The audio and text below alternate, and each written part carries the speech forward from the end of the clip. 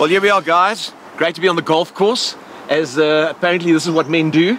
I like going to the racetrack. I love the momentum of a motor car. But it's amazing, and you think of a golf course and a golf ball, the momentum a golf ball needs in order to reach the whole way down there is actually the follow through. Yeah. And just been watching Chris, uh, you got to follow through if you want to get the ball to really go far. And it's a bit like a Christian life. You need momentum and follow through if you're going to get to where you need to get, the goals you need to get to. And also, this is what struck me the more you play, the better you get. Sustain the game as a believer. And today we're going to talk about um, on the course because I think men don't really get together and talk much. But we're going to talk about gender based violence as it's a real issue in our country. So many speeches are made, and I, I think the political speeches are a lot like carbon tax. They, they, they're there, they do something, but they do nothing. And really, the church needs to speak up, and we need to help our men succeed because we just talk and talk and have days of activism, but we don't get to the root of the problem. Now, the stats concerning this are quite frightening.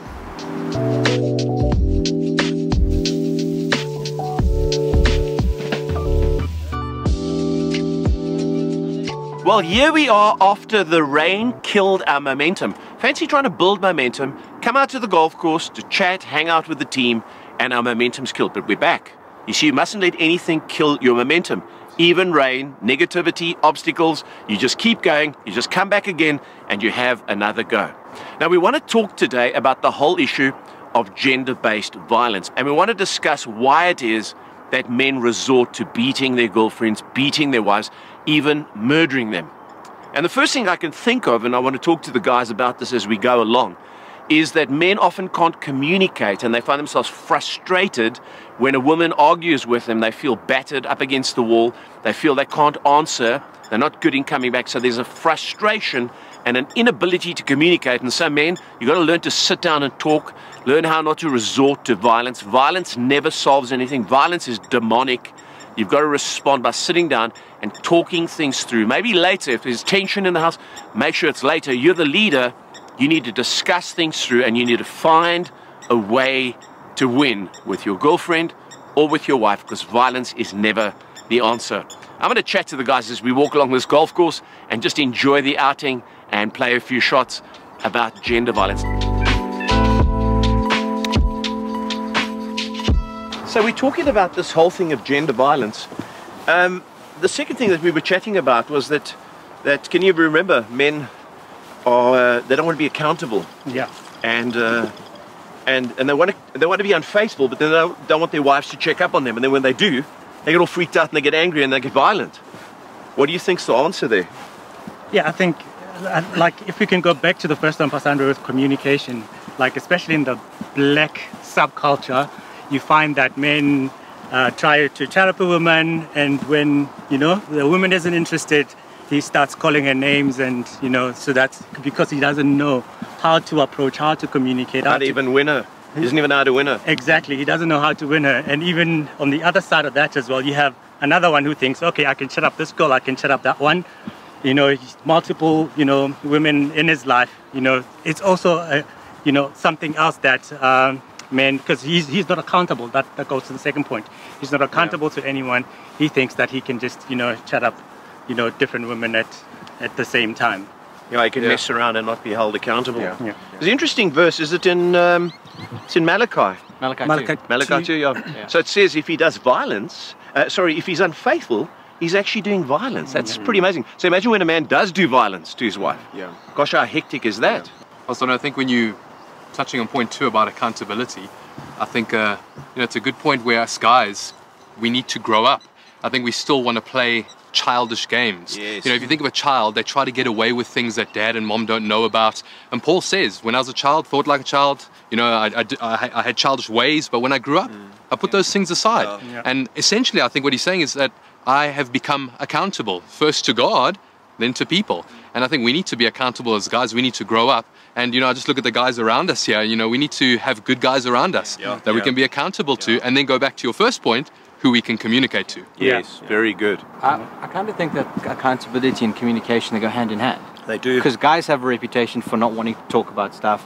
Um, like you saw these funny memes, like, "Hey, uh, is everything okay?" And it's like, "No, I don't want to talk about it. Yeah, I don't want to hear it because that's not what guys do." And it's it kind of perpetuates, and I think it goes from when you're younger to when you're older that you don't communicate with guys, so you can't communicate with guy friends, you can't communicate with um, your wife or your girlfriend, and because you can't communicate, it spirals. And then when you can't communicate, and you now and now you have to be accountable, and in order to be accountable, you have to communicate. It becomes worse and worse, and there's more frustration. right. And we don't know how to manage or self-discipline ourselves because we lack the maturity to to beat our bodies into submission. The Bible says, and I think we also need to beat our our anger, our temperaments and our frustrations into submission and take control of our bodies and ultimately take control of our lives. Absolutely. In fact, the sign of an adult is self control.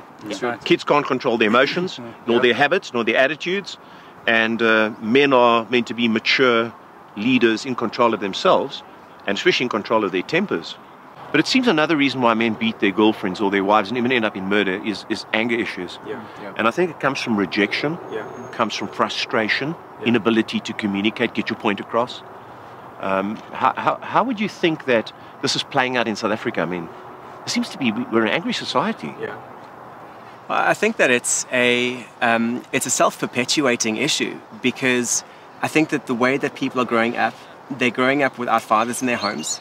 They're growing up watching their fathers treat their wives, their girlfriends, women in their world this way. And to touch on those first two points, because nobody's talking about it, there's no communication around this, because there's no accountability that's calling men to a higher level, and because women are becoming stronger and men feel rejected by women who are stronger, I think that sense of manliness and that's that manliness that God has designed a man to be like is just diminishing and diminishing. And so man steps out into the world and they're already on the back foot. True. Um, and you know, Chris mentioned the verse earlier that talks about beating your own body into submission. Well, now what's happening is men are beating a woman's body into submission because it's the only way of gaining a sense of power, a sense of affirmation, a sense of strength, a sense of um, of just having power in this world because they feel like it's been taken away from them so violently before. You know, I was, thinking about the whole thing of um, anger issues and rejection. And if you think about it, we talk about gender violence as like it's a new thing. But violence has been in, in, in our world since Cain and Abel. And if you think that God rejected Cain, first resort was, he didn't go and discuss it with, with Abel and say, let's have a chat. And, Yeah. you know, why is it that I'm, I'm getting rejected and you're not? He, he kills him. Yeah. And so, you know, we deal with it today as like this is brand new problem that we need, you know, political activism. No, it's in the human heart. Yeah. And I think when you get rejected, it's really difficult. So a man's got to have a good self-image. ultimately what a woman needs is to be loved mm. and to feel that. But a man is different. A man wants to feel respected. But to go to the extreme, they see rejection as not being re- respected. And so I think sometimes we, we take every little rejection and we think they don't respect me, they don't respect me, that person doesn't respect me. And because, let's go back again to the first two points in number one, communicate. We, we keep that inside, Yeah. we bottle it all up, we then have a whole inflated sense of ego where I'm not respected, and the closest person to us, girlfriend or wife, Yeah. the lady in our life, we take it out on them. Because I'm not respected, and that's what we end up doing. True. And that's sad. You know, the church has been blamed for gender violence because of the whole thing of, you know, suppressing women. But I think what you're saying there is so important because a man feels rejected, then he, then he goes to scripture. You're mm. supposed to submit to me. Yeah. Mm. And then she doesn't listen, then he wants to make her submit. So mm. we've got some complex issues here, but ultimately, as believers and as men, we should not be falling into this category. Um, Kaizen, the whole thing of culture comes into it. You know, certain cultures, especially African culture, I know that women aren't respected. I was watching a documentary the other day, and a woman said, "We just, we just not respected." It was in Lesotho. She says, "We're just not respected. Men don't view us equally to uh, uh, e- as equals." Yeah. And um, and so that's like a, in, endemic. And, and apparently in Lesotho, one in every two men is a sexual offender. Yeah. They put you in, in prison for 10 years for rape. So it's massive in Lesotho. But even in South Africa, in our cultures, if you don't respect a woman, I mean, if you think of if you think of uh, Middle Eastern culture, a woman doesn't even have a driver's license. Yeah. You know, you can't drive. Who who are you? What do you think? You're going to be independent. And so I, I struggle with that because I, I didn't grow up with that. What, what do you think of that in terms of culture, like in the Bible? You know? So it's it's it's very difficult for especially African men to try and find the right balance for, for most of them because I think some teachings, traditional teachings, have literally taken them on the very extreme side of you know what being a man is. You know, I, I think firstly the man should be someone who knows how to communicate the heart of God to the woman. Yeah, not very good. not not be, not uh, try to you know force yourself on her or anything Yeah. like that. So in, in African culture, as, as prevalent as it is, I, I know like in South Africa we have um, in 2019, 2020, the stats say that every three hours a woman was was killed. Yeah. You know, which is really shocking.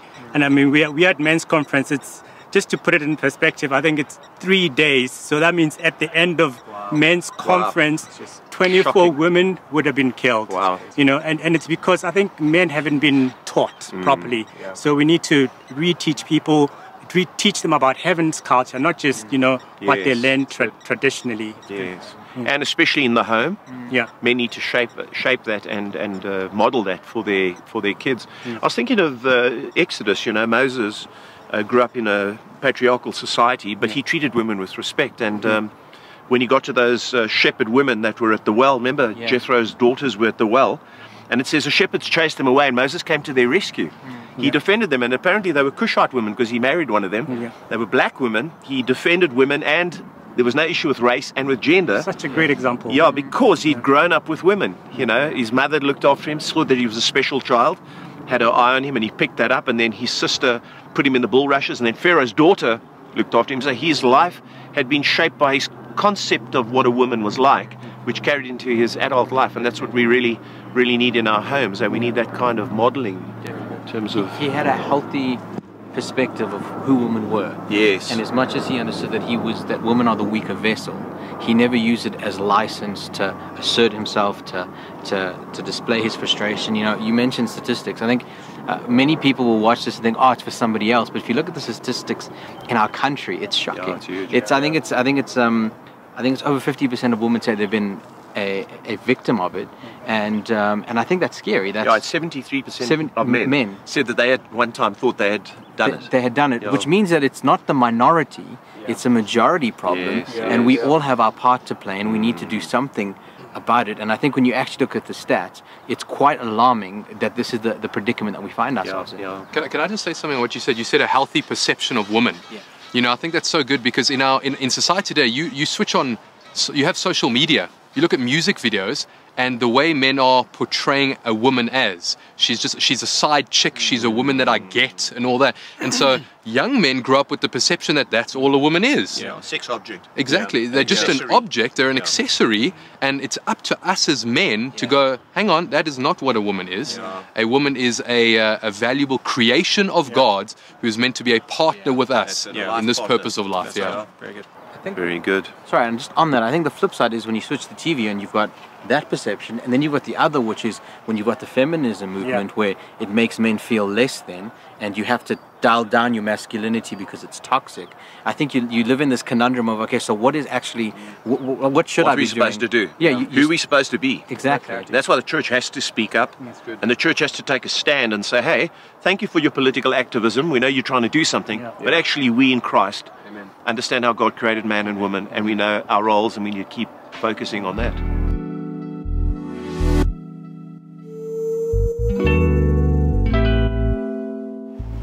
So another issue, it seems, is the issue of power. Hmm. And if a man can't win by, by discussion or by verbal, verbal um, communication, then he resorts to, to using his force, his upper body.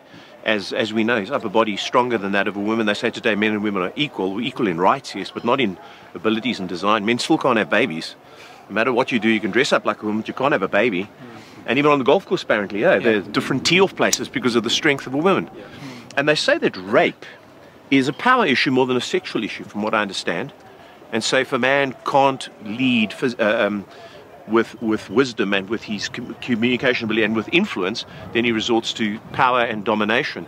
Uh, even when it comes to the whole role of sex, you know, she gave signals, and and women mustn't do that. And any little, you know, woman dresses attractively, then then it's a signal for me to have sex with her.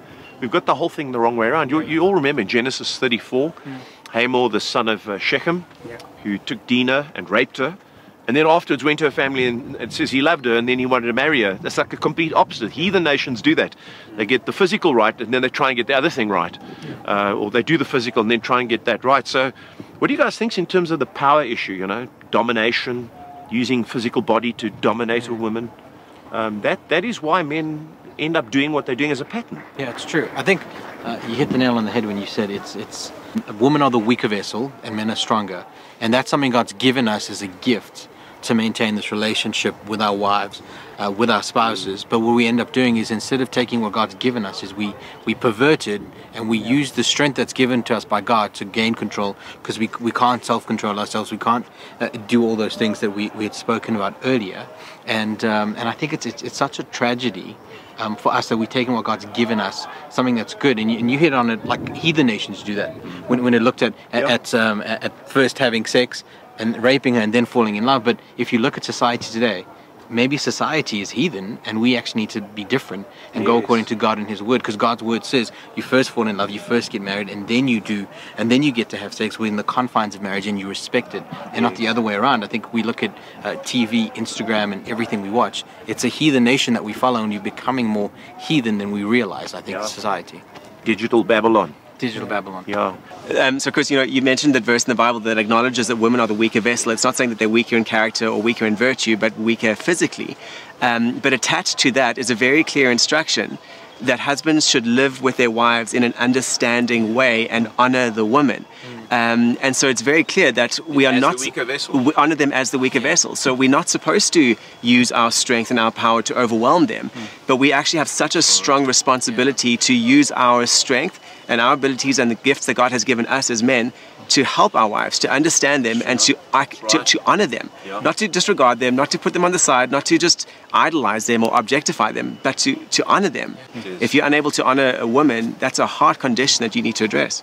Yeah, like Paul says, that we need to honor our wives in the same way that Christ lay his life down for the Yes, church. yeah. Yes. And we have to ask ourselves as husbands and as men, are we laying our lives down Very good. in the same way Christ did for the church, That's his the- bride? The right use of power. Yeah, that's it. Yes. Mm. And also men say, but it's got to be 50-50. No, it's 100 from you. And then leave her 100 up to God. That's, it. that's very good. But you Yeah, do your true. 100. Very good. Because there's Really also, if she did, then I wouldn't. No, Yeah. no, you just do what Christ did. Yeah. Yeah. Christ had no one supporting him, cheering him on, and everyone against him, and he still did it. Yeah, very good. Yeah, it's good for us to learn that, eh? And and I want to reiterate this because we talked about it earlier, but the whole thing of you know violence is demonic, and there's no justification for violence. Yeah. never.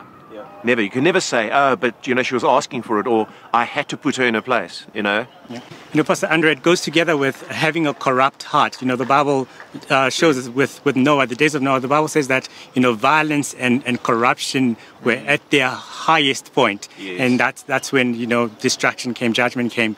You know, so we, we have to understand if, if, if the heart is not right, there's no way that a man will understand how to use the power that he has correctly and properly. Yeah, that's right. God's got awesome power, but He doesn't use it Exactly. incorrectly. He doesn't dominate, and He's our role model there. Well, another one, and I mean, there's so many issues, you know, that cause men, but the, the one I think that is probably one of the most important is men who start abusing alcohol or drugs. And you say, well, it's a Christian conference, you know, who are you talking to? Well, we've been in lockdown, and I know that Christian men are not are not uh, exercising the self-control they should. Christian men are also guilty of beating their wives. And when you're not coping with life in general, finances in general, self-esteem in general, there's rejection, you're in, unable to communicate, you can hide yourself away. You know, just it's not brandy at night, maybe just one glass of wine, another glass of wine, another glass of wine, and then you find your temper's on the ragged edge, and then it sparks off, you know. Well, Kaizen, uh, Proverbs talks about that, doesn't it? It says in Proverbs 20, verse 1, that wine produces mockers. And there's an interesting word in the second part. It says alcohol leads to having brawls. Wow. And that's that's an interesting. I think when The you violence has its roots in alcohol. yeah, when you try and numb yourself or numb your emotions instead of dealing with them with alcohol, you know, you end up, you know, being violent. and worse off than before. Exactly. Ephesians 4 says that we should uh, put aside brawling, Yeah. uh, violence. And so amongst men, there should be none of that. Yeah. Standing in bars or beating each other up or grabbing hold of each other, let alone with our, with our wives. Yeah. And I think that you can get into a trap, you can get into a hole. Yeah. It's like on a golf course, you know, you hit a ball and you end up in a, in a sand trap. Looks easy to get out of, but if you're in a drug issue, drug or alcohol, you know, dependency, um, what would you offer to men as advice if they find themselves in a hole of uh, they're drinking too much, now they're in the habit of doing it, and they find they get quite explosive, and so they go in the garage or they go for a walk to get away from the family, the very thing that they're responsible for. Um, we need to help men in that regard and talk about that. Well, I think that um, so many guys are stuck in this, but they, they are unwilling to acknowledge that this is actually an issue. Like, no, I, I have a, like a glass of wine every night. It's not a big thing. Um, where deep down, it's actually it's a it's a major thing. Um, so I think firstly being able to acknowledge it and say, look, I, think I actually do have a problem over here. Uh, but it seems like we're always going back to those first two points that you made, Pastor Andre, where there's accountability and communication. Yeah. Because there is so much of that power that addiction has over you that's removed when you start talking about it to the right people and you remain accountable to that. Because it means that you suddenly um, you've you've disclosed it. So it's not a deep, dark secret anymore. It's not something that you're hiding away. And God can't ever work with something that we keep in darkness. Um, but when we bring it to the light, He's able to start working with it. And when we have sound godly counsel through the right relationships, um, and I think I think guys would realize that the ability to have a good, solid, godly male friendship is so much more possible than we actually realize. But we don't realize because we're not wanting to put ourselves out there. Um, but I think just doing those two things, just having having accountability and, and actually communicating about the issues that are actually issues for ourselves, it goes such a long way into breaking the power that addiction has over our lives. You've got to share it with someone, eh? Got to talk about it. You can't always see yourself as you really are sometimes because you get into a pattern. I was thinking of the, you know, the famous story of Nabal, and the Bible says he was in high spirits hmm. and feasting like a king, but he treated his wife like dirt. You know, treated her like uh, she was just a servant. But David saw in in, in his actual wife a- Abigail, hmm. he saw her as a queen. You know. Yeah. And it just shows you, you, you lose your perspective when you when you end up drinking and taking drugs, and you think you're coping, you think you're helping it, but actually are making it worse. Yeah. Hmm. I also think you you said it starts with one glass of wine. It starts with one, and I think little by little you got into this scenario and the situation. It'll take little by little to get out very of it. good, So celebrate those little wins, and you need the accountability. You need a friend like David and Jonathan who's going to be there through thick and thin. But but you also need a friend like Nathan, who King David had, who's going to call you out. Very good. Because sometimes you may think, oh, I just drink more than other people. But you don't realize actually drinking more than other people is the starting point for, for becoming an alcoholic. And, Yeah, and I think also like like we, we mentioned Cain and Abel, we mentioned you mentioned the, the scripture in Proverbs about brawling. Violence has its source elsewhere often, and we need to be able to identify what's the trigger for me. For Cain, it was jealousy that triggered his anger and his violence towards his brother. For in the scripture, it's alcohol. So we need to be able to say what is it? What is the little thing that's triggering me that could cause massive consequences at the end? So good. The, the Bible talks about.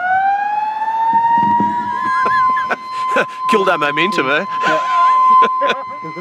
okay.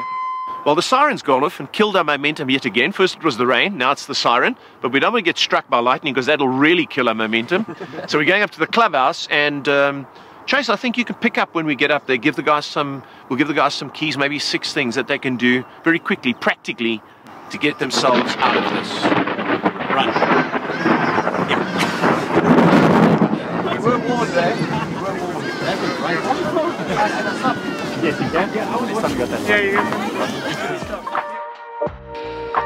Well, here we are. We've kicked off again, and I hope you've been enjoying the discussion on gender based violence.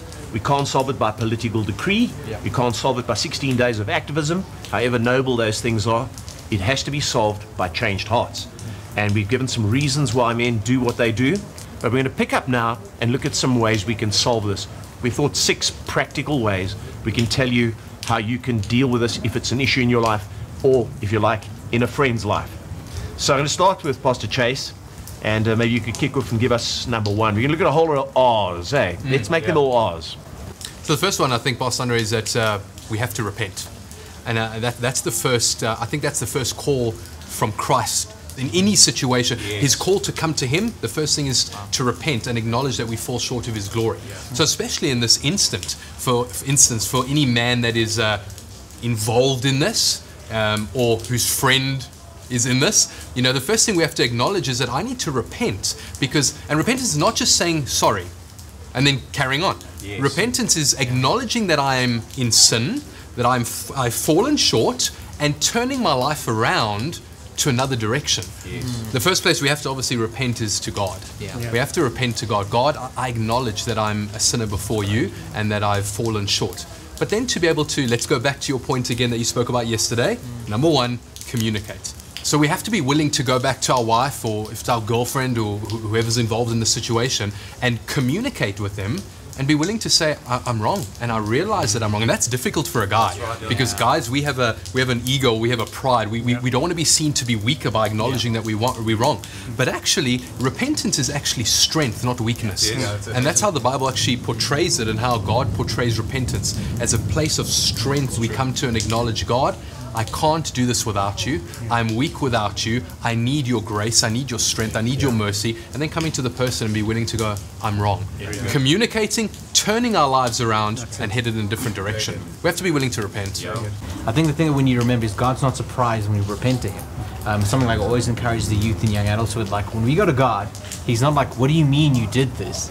You know, I think for us to first admit that, hey, I'm an abuser. It's something that I do. That's a that's a massive thing to say. And I think we almost feel embarrassed to go to God. But when we understand that God underst- God God knows God knows us already, and when we repent, it's not letting Him know that this is what I've done, but it's admitting that this is an area of my life that I need to yield. Inviting him in, yeah. And, yeah, and I have to. And I'm inviting God Yeah. in because if I don't yield it, God won't be able to change it in our life. Mm. So good, Pastor Chris. And I think the other side is, you know, we have bystanders, other guys who think, oh no, somebody else needs to repent. Uh, it's not my problem. It's it's the other guys. You know, so I think collectively as as men, we have to remember that. You know, we play a role in, in shaping other men around us.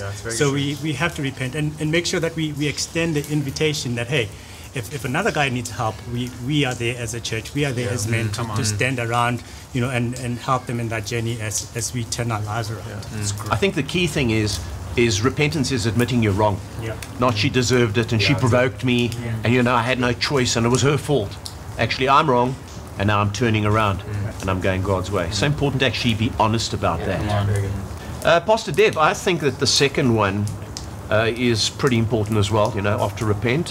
What would you say that is?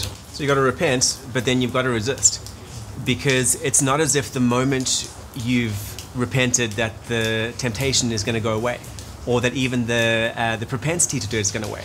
Going to go away. It's sometimes it takes time, and you need to actually resist yourself. The Bible says, "Resist the devil, and he will flee from you." Um, but oftentimes it's a gradual process to get there. It is. But it got it, it's got to start by saying, "I'm going to say no to myself." Now, the Bible says that if you keep on biting and devouring each other, you're going to consume each other. You're going to consume yourselves. Yeah. And you know that's what animals do. That's right. A- animals. And men sometimes behave like animals and refuse to acknowledge it. Exactly. So we have to resist those Yeah. animal urges, if you like. Exactly. That want to take over Yeah, our dignity. good. That's it. Very good. The Bible said we, we spoke about Cain earlier, and God said to Cain after he murdered Abel, He said, "Sin is crouching at your door, and its desire is to have you, but you must overcome it." And you can only overcome if you make a decision to resist, because nobody's going to do it for you. God's not going to resist for you. Your friend's not going to resist for you. You have to resist for yourself, and you'll find that as you take that step, that step, that step, that step, you find yourself somewhere down the line where you look back and it hasn't been one big moment where suddenly this issue's been taken away but the daily victory of overcoming. And you look back and you just you, you can't believe how god has helped you to get through that but it's all started by you saying no i am going to resist. Yes, they say you should say no to something every day. And uh, certainly if you're involved in, uh, in, in violence in your home or with your girlfriend, you should say no to that and tell yourself every day, today I will not lift a hand, swear, or behave in an unseemly manner. Yeah, I think uh, what Pastor Chris mentioned yesterday when we were on the course about uh, how Paul talks about how he disciplines his body. Yes. In other words, that uh, I'm not just going to get over things, uh, repent before God, and now suddenly, oh, that's that's cool, like you were saying. yeah. No, no, I have to, hey, my body, I need to discipline my body. Yeah. No, no, no. And as we do that in God's grace, I think we veer more and more way and more towards holiness, which is God's ultimate goal for us. no one gets a hole in one the first time you step onto the course you've got to practice it's a, it's not a it's not a just a step up and hey i've got this right um, it's that daily discipline that daily routine that daily determination that i'm going to resist where eventually you find yourself playing the game that you want to play I remember we were playing around on the golf course, and you know, you miss a shot. And it's like, I'm not good at this. Yeah. No, get good at it. yeah Keep at it. Yeah. Yeah. Keep the momentum. yeah And you'll get it right. It's uh, speaking about golf. It's Gary Player who says, "The more I practice, the luckier I get." Yeah, it's a great and it's a great uh, actually quote about that. Great. Well, let's give the guys another R. What would you give them? Number three. You know, Pastor Andrew, I think one of the biggest things that could help men is understand that we have to respect each other, respect women in our lives. And I think that's that's one of the biggest things that uh, Jesus uh, spoke about a lot when when they asked him, what are, what are the biggest commandments? He first started with, okay, loving God. And then the next important one, he said, love your neighbor as yourself. And so if you can place value in, in women, and Jesus placed value in women, he respected women, did. he honored women, and I think that's uh, something that men, you know, have to do. We, we don't deserve something. I think so, so sometimes as men we can feel like, okay, no, I'm, I'm a man, so I'm entitled to this, I'm entitled to that, mm-hmm. and that's the very issue that, that, that leads to violence because you know there's no respect, but you, you think you're entitled to something that you really aren't entitled to. Yeah, I, th- I think men get angry because there's unfulfilled expectations. Where's my food when I came home? Yeah. Why can't I sit and watch TV? How come I can't go out with the boys? Mm-hmm. Yeah. But you're not actually respecting your wife and what she needs. Mm-hmm. And it's interesting, I, I remember reading this years and years and years ago. Someone once said, Love your neighbor as yourself and don't forget your wife is your closest neighbor. Wow. Okay. And sometimes we, you know, we treat that as a weird scripture for the next door neighbor in the complex or wherever we live. But actually, it's our wives. Yeah, yeah. I think a good way that we can um, that we can break entitlement in our life, that we can love our, our neighbor and love our wives as ourselves, is first have a healthy self-image. Yes. Because if we don't have a healthy self-image, don't overinflate it, don't think too highly Yeah. of yourself, and don't think too low of yourself. But you have to have a, a, a level self-image of yourself, and that's always typically something we tell young people and teenagers. But I think as men get older, if you don't develop your self-image, then you're not going to develop it now if you don't spend some time developing it and spending time saying actually I need to I need to look at the things in my life that are that, that are affecting my self-image because how I view myself will determine how I how I respect other people Yeah. and I think we live in a culture of disrespect I think from a right at a young do. age We do. We disrespect authority we disrespect policemen we disrespect um, our boss at work you know everybody will have a, a snide comment about their boss and you see it on TV you see it in the workplace but we should be counter culture we should be actually you know i'm gonna i'm gonna respect my wife i'm gonna respect people because the bible says that that's how we should do that. And i think the remedy is to serve. If we can go to our wife and say i'm gonna serve you out of respect it, it's not what can i get out of this relationship? It's rather hey how can i serve this relationship? And if i'm serving her she's serving me we're serving god that's a healthy relationship to be in and, it, and you take the focus of me and mine and us and we and i think that's Very that's good. vitally important You know, what struck me as you were speaking was that the whole culture disrespect. Mm. Disrespect is almost a sign of strength. Yes. Mm. If you if you like the cops, you rude to the cops, you rude to people. It's like it shows like you're the man. Yeah. But actually, it's the exact opposite. 100%. It shows how weak you are. And re- respect is something that you give. You, people don't have to earn the respect. Yes. it's something that comes from you that you give to others, no matter That's right. It how says they more about you than it says about them. Exactly. In fact, respect and honor is not something that's conditional. It's something that you do because of who you are and because of what the Bible says. In fact, that's why one of the commandments, the Ten Commandments, is honor your mother and father.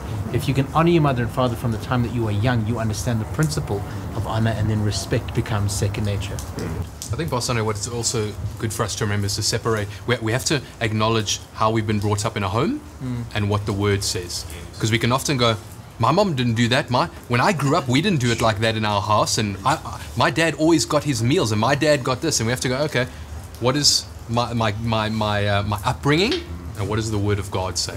I need to f- follow what God's Word says in our home. Gets back to heaven's culture again, as we said earlier. Hey? Yeah. I think it's, it's good for us to always look at the fact that Jesus is the ultimate man. Like there, there- there's no more of a manly man than Jesus, and he always elevated women. You look at the woman at the well, a woman who many men had taken advantage of, and he elevated her. Yeah. Look at the woman caught in adultery. Jesus elevated her. Um, where all other men were behaving in a disrespectful way, he actually he gave respect to them and helped to elevate their lives. Yeah. And that's that that model of manliness is the model that we should all be following in our lives. Yeah, most men who would have found a woman like that at the well would have hit on her and seen it as a vulnerable opportun- mm. Taken opportunity. advantage, Interesting thing is we, we don't often talk about it, but the Trinity is the Father, Son, and Holy Spirit, and they show mutual respect. Yes. No one tries to dominate the other. They each give difference to each other. Yeah. That's really our picture of relationships. Well, Chris, let's have a look at another R. What think- would we tell them to do?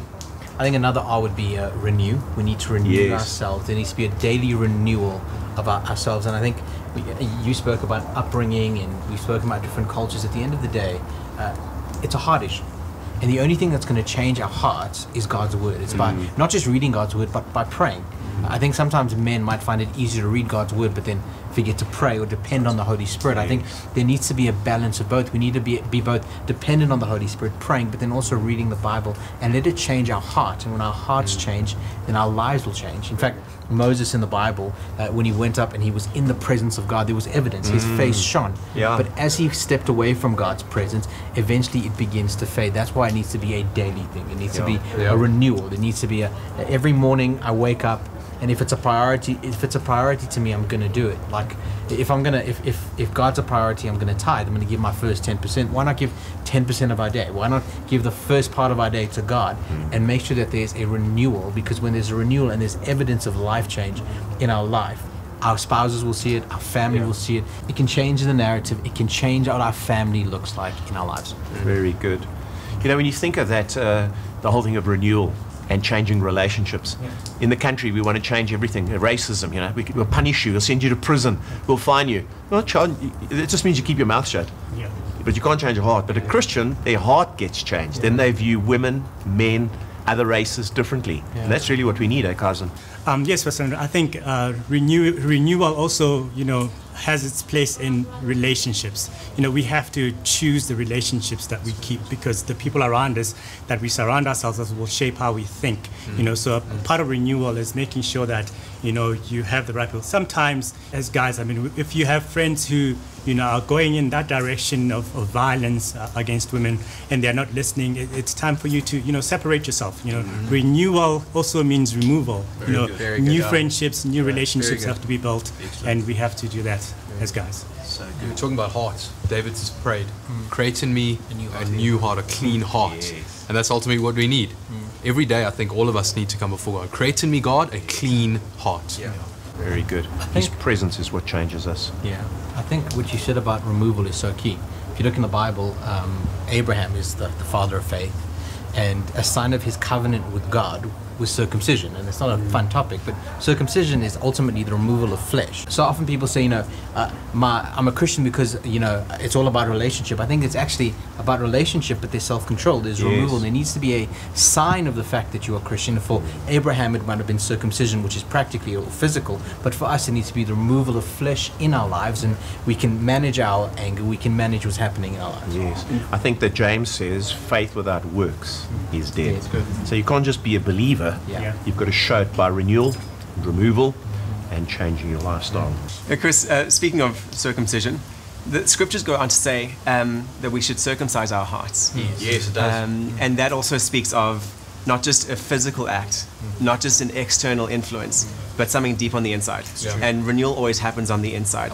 Um, there are many external factors that can help us, many external structures that can facilitate change, but it's a change of the heart and the decision to say, I'm, I'm cutting off something on the inside of me. I'm cutting off this part of my sin. I'm cutting off this desire. Um, and that, that's what sets us on the track of being renewed. Very good. Let's look at another one. Uh, I think another one is rebuild. Because you can repent and you can renew and you can do all these things, but you have to rebuild because the relationship has been damaged. So if you're dating someone or if you're married, you can't say, well, you've got to forgive me and we've got to move on, you know? It's over now. I went to a men's conference and I, and I get it. Now you have to rebuild what you've damaged. And rebuilding takes time. Yeah. So in the book of Nehemiah, they had to rebuild the wall. But they couldn't just pick up the stones and build them back in. They had to clean them off because they were burnt stones. And it's a picture of relationships. You can't just put the stones back, they've been damaged. So now there needs to be a time of restoration, of rebuilding. And, and you can't just say, well, you've, you know, I've, I've confessed, forgive me, and now we move on. Your wife has been damaged, your family's been damaged, your girlfriend's relationship, maybe in your home with your sister. There's a lot of baggage. It's got to be removed, and you've got to give people time for that. Well, the last R is responsibility, obviously. Take responsibility. Don't blame others. Don't say it's the country's problem, it's my wife's problem. Take responsibility. I'm a man, and one of the things men do is take responsibility for their lives, for their homes. They're leaders, and they're leaders in society. So, men, that's it for now. We've had a great discussion. I hope it's helped you. It's not activism or political decree that will change the challenges in our nation, but changed hearts, changed lives, and a willingness of men to humble themselves and to go God's way.